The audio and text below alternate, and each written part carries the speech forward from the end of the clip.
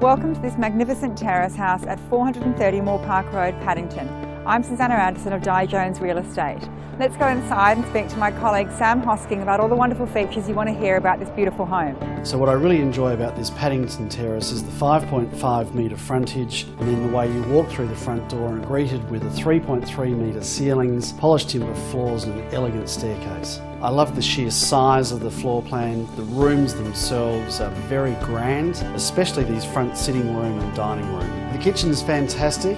It's light and bright, overlooks the casual dining area, which in turn opens out to the lovely courtyard with water features and beautiful plants. This is an ideal family home that provides three or four bedrooms. The main bedroom is emperor size, and there is a main bathroom that services all the bedrooms on the upper levels, and then a second bathroom downstairs. Being a traditional grand terrace in Paddington, I absolutely love the high ornate ceilings, the ceiling roses, cove cornicing, and of course the beautiful marble fireplaces and timber polished floorboards throughout. The position here is excellent. We are so close to Centennial Park, it would literally be 100 metres away, as is Oxford Street and Queen Street, Woollahra. And we're only minutes away from the entertainment quarter, and of course, having public transport at our doorstep, we have easy access to Bondi Junction and the CBD.